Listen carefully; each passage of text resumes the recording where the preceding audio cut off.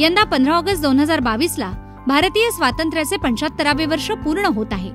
स्वातंत्र्याच्या अमृत महोत्सवानिमित्त हर घर तिरंगा हा उपक्रम राबवण्याचं शासनानं ठरवलंय. या उपक्रमाअंतर्गत देशातील प्रत्येक घरावर दिनांक तेरा ऑगस्ट ते पंधरा ऑगस्ट पर्यंत आपल्या अस्मितेचं प्रतीक असलेला आपला राष्ट्रध्वज फडकवायचा आहे.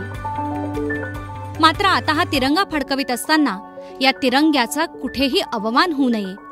राष्ट्रध्वज कसा लावावा? कधी आणि कसा उतरवावा? याबद्दलची संपूर्ण माहिती आपण या व्हिडिओतून समजून घेऊया. आपला राष्ट्रध्वज हा हातानं कातलेल्या किंवा विणलेल्या अथवा मशीनद्वारे तयार केलेल्या सूत पॉलिस्टर सिल्क खादी किंवा लोकरीपासून तयार केलेलाच वापरावा. प्लास्टिक किंवा कागदी झेंडा फडकवू नये. तिरंग्याचा आकार हा तिनास दोन या प्रमाणात राहील अशी असावी. राष्ट्रीय ध्वज फडकवताना हवामान कसेही असले तरी तो सूर्योदयापासून सूर्यास्तापर्यंत फडकवावा. तिरंगा फडकवताना नेहमी झेंड्यातील केशरी रंग हा वरच्या बाजूने आणि हिरवा रंग जमिनीच्या बाजूने राहील याप्रमाणेच फडकवावा. राष्ट्रीय ध्वज लावताना स्तंभाच्या वरच्या टोकावर लावावा. त्याला इतरत्र लावू नये.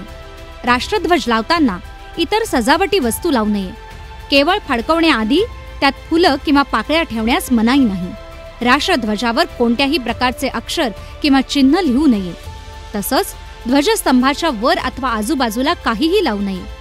राष्ट्रध्वज कुठल्याही प्रकारे फाटलेला मळलेला अथवा चुरगळलेला लावण्यात येऊ नये. तसंच तो एकाच वेळी इतर ध्वजासोबत एकाच काठीवर फडकवू नये. राष्ट्रध्वजाचा कोणत्याही प्रकारे तोरण गुच्छ अथवा पताका म्हणून किंवा अन्य कोणत्याही प्रकारे शोभेसाठी उपयोग करू नये. राष्ट्रीय ध्वज उभारताना तो कुठल्याही पद्धतीनं फाटणार नाही याची काळजी घ्यावी. तसंच ध्वज उतरवताना पूर्ण सावधतेनं आणि सन्मानानं हळूहळू उतरवावा.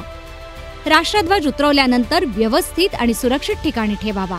आपला राष्ट्रध्वज तिरंगा हा आपला अभिमान आपली अस्मिता आहे.